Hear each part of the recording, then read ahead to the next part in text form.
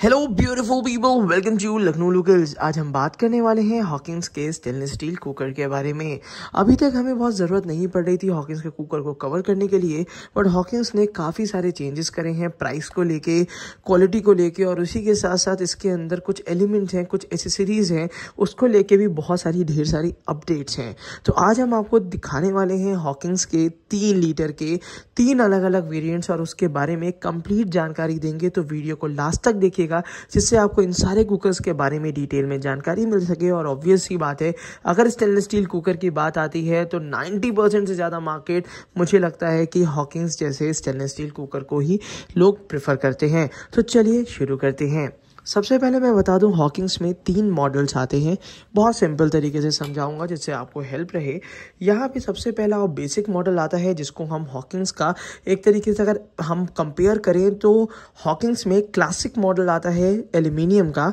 उसी के ही बिल्कुल रिप्लिका में आपको स्टेनलेस स्टील मॉडल मिलता है, जो कि थोड़ा सा टॉल होता है। इसके कुछ बेनिफिट्स हैं, वो मैं बता देता हूँ। इसका पहला बेनिफिट ये है कि जो हॉकिंग्स का तीन लीटर का इडली स्टैंड आता है, वो इसके अंदर ईजिली आ जाता है। तो अगर आप इडली स्टैंड रेगुलर बेसिस पे कुकर के अंदर यूज़ करना चाहते हैं फैमिली छोटी है तो अगर छोटा इडली स्टैंड लेना चाह रहे हैं तो ये कुकर आपके लिए काफ़ी अच्छा स्टीमर का भी काम करेगा। उसी के साथ साथ इसमें क्या है कि ऑब्वियस सी बात है, नीचे का जो बेस है, उसका डायमीटर थोड़ा सा कम है, जिसकी वजह से इसमें अगर कभी आपको लेस कुकिंग करनी है, कम कुकिंग करनी है तो उसमें भी ये मॉडल ज़्यादा काम आता है। यहाँ पे अगर सेफ्टी मेजर्स की बात करी जाए तो हॉकिंग्स आई मार्किंग तो देता ही है। यहाँ पे यूएल लिस्टेशन भी दे देता है। ये लिस्टेशन काफ़ी कम कुकर्स में देखा गया है और ना के बराबर कुकर्स में देखा गया है बट हॉकिंग्स अपने सारे कुकर्स में लगभग यूएल लिस्टेशन आपको देता है। उसी के साथ साथ सबका कंसर्न होता है कि ऑब्वियस सी बात है, आप स्टेनलेस स्टील कुकर ले रहे हैं तो कौन सी स्टील इसमें यूज़ होती है? चलिए वीडियो के आगे मैं आपको बताऊँगा तो अगर आप इस टाइप का टॉल कुकर लेना चाह रहे हैं, अगर ये दो बेनिफिट्स आपको चाहिए कि इसके अंदर आप इडली स्टैंड ले सकें और इसी के साथ साथ आप इसमें टॉल कुकर की तरह इसको यूज़ कम अगर कुकिंग करनी है, उसकी तरह भी इसको ईजिली यूज़ कर सकते हैं। तो चलिए अब बात कर लेते हैं दूसरे कुकर की। अब यहाँ पर मैं इसका दूसरा और बहुत ज़्यादा पिकने वाले कुकर जो हर आदमी पसंद करता है, उसके बारे में बात करता हूँ। तो यहाँ पर कुछ इस तरीके से ये कुकर आपको देखने को मिलेगा। ये कुकर जो है, ये है कॉन्ट्यूरा मॉडल कॉन्ट्यूरा मॉडल में सबसे अच्छा बेनिफिट हमें यह मिल जाता है कि इसमें हमें कुकिंग स्पेस थोड़ी सी ज़्यादा मिलती है। उसी के साथ साथ और भी बहुत सारे डिफरेंसेस हैं तो चलिए सबसे पहले इसको ओपन कर लेते हैं। तो यहाँ पे कुछ इस तरीके से इसको ओपन करेंगे और यहाँ पे यहाँ पे इस तरीके से। अंदर की तरफ़ से आपको मैट फिनिशिंग देखने को मिल रही होगी बट घबराने की ज़रूरत नहीं है। ये प्योर स्टेनलेस स्टील का होता है और अभी इसकी क्वालिटी भी मैं बताऊँगा कैसे आपको चेक करनी है। उसी के साथ साथ मैं अगर आपको नीचे बताऊँ तो नीचे भी आपको आईएसआई मार्किंग और यूएल स्टेशन मिल जाता है। चेंजेस कहाँ पे हैं? सबसे पहला चेंज है, इसमें आपको कुकिंग सर्फेस ज़्यादा मिलेगा, आपको चलाने की स्पेस आपको अच्छी मिल जाएगी, देखने में बहुत प्रेजेंटेबल लगता है। नया सा कुकर एक बहुत ही ज़्यादा डिफरेंट शेप और टेक्स्चर में देखने को मिलता है। उसी के साथ साथ इसका जो बेस है प्रैक्टिकलिटी की बात करी जाए क्वालिटी की बात करी जाए तो इसका जो बेस दिया हुआ है, ये लगभग आपका six point seven M M thick होता है और वहाँ पर आपको मिल जाता है है सॉरी 6.6 पॉइंट mm थिकनेस इसकी मिल जाती है और यहाँ पे अगर हम इसकी बात करते हैं तो यहाँ पे आपको सिर्फ़ 5.8 पॉइंट mm थिकनेस मिलती है। तो ऑब्वियस ही बात है, इसका बेस ज़्यादा भारी है, ज़्यादा मोटा है, जिसकी वजह से इसमें आपको कुकिंग एक्सपीरियंस भी थोड़ा बहुत बेहतर मिलेगा। और ऑब्वियस ही बात है बेस भारी करने का रीज़न भी यही है क्योंकि इस कुकर को थोड़ा सा फैला दिया गया है। उसी के साथ साथ यहाँ पे लिड में भी एक मुझे चेंजेस दोनों में देखने को मिले हैं, वो भी यहीं पे मेंशन कर देता हूँ। जैसे किसी किसी कुकर में मैंने ये चीज़ देखी की है कि लिड में भी आई एस आई और यूएल स्टेशन होता है. बट अभी रिसेंट में जो मैंने कुकर ये वाला अनबॉक्स किया है इसमें आपको ढक्कन में ये चीज़ें देखने को नहीं मिलेंगी मगर आपको नीचे की तरफ़ बेस में दोनों मार्किंग आपको देखने को मिल जाती है. तो यहाँ पे अगर इस कुकर का बेनिफिट देखा जाए तो सिर्फ़ ए, दो बेनिफिट्स इसमें हैं. सबसे पहले अगर आपको कोई भी सब्ज़ी चलानी है वो चलाना थोड़ा सा बेनिफिट रहेगा. दूसरा बेनिफिट इसका ये है इसका जो बेस दिया हुआ है वो थोड़ा सा मोटा है एज कंपेयर टू ये प्लेन वाले मॉडल अब बात कर लेते हैं एक ऐसा कुकर जो कि एक काफ़ी ज़्यादा मॉडर्न कुकिंग में भी काम आता है।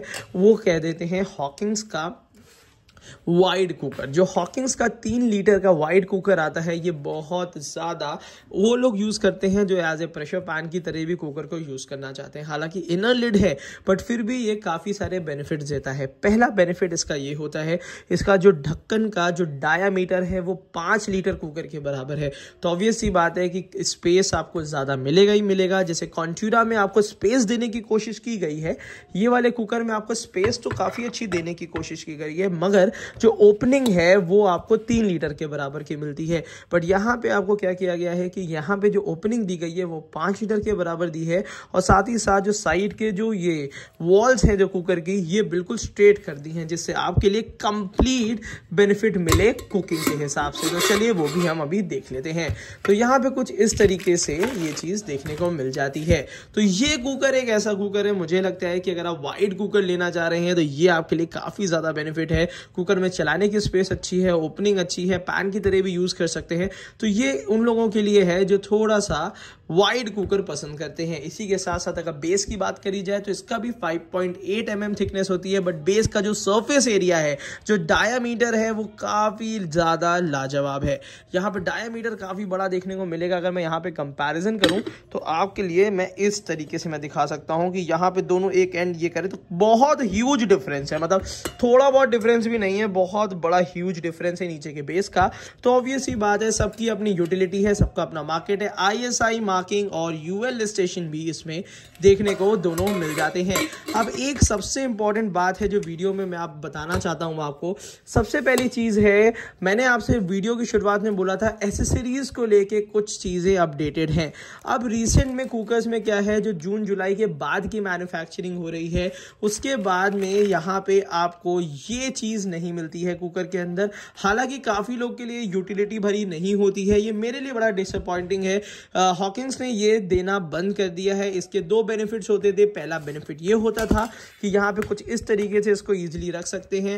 As a hot plate stand का काम करता है और अंदर अगर आलू आलू उबालना है तो आलू सॉगी नहीं होते हैं। इसकी वजह से नीचे पानी का अमाउंट ज़्यादा रहता है। हीट अच्छी होती है। तो ये बेनिफिट इसमें बहुत ज़्यादा अच्छा मिल जाता था। बट अब ये रिसेंट के कुछ कुकर्स में आपको नहीं मिलेगा। तो इस चीज़ का बिल्कुल ध्यान रखिएगा। और उसी के साथ साथ मैं आपको बता दूँ कि यहाँ पे ये तीनों ही कुकर जो है, वो आपके लिए हंड्रेड परसेंट हेल्दी है हाइजीनिक है. लास्ट बट नॉट लीस्ट उनका बेनिफिट ज़रूर होगा जो वीडियो को यहाँ तक जो देखते हुए आ रहे हैं। मैं आपको स्टील की क्वालिटी देखने के लिए बता रहा था तो मैं बताऊँ हॉकिंग्स अपने सारे कुकर्स के नीचे यहाँ पे स्टील की क्वालिटी मेंशन करके देता है। सबसे पहला है body and lead 18 by eight A I grade है। इंडक्शन कंपेटेबल बेस है जो कि 430 ग्रेड का है। तीन लीटर कैपेसिटी है तो ये हमेशा चेक कर लीजिए तो आपको क्वालिटी को लेके हमेशा एश्योरेंस इसकी मिलेगी। तो अगर आपको ये वीडियो पसंद आ रही है तो इस वीडियो के नीचे इसका बाय लिंक दिया है, जहाँ से आप इसको इजीली परचेज कर सकते हैं। और साथ ही साथ अगर ये वीडियो आपको पसंद आ रही है तीनों कुकर की तो अपने फ्रेंड्स के साथ शेयर करिए तो उनको कंप्लीट एक नॉलेज अच्छे से मिल जाएगी। Thank you so much keep supporting us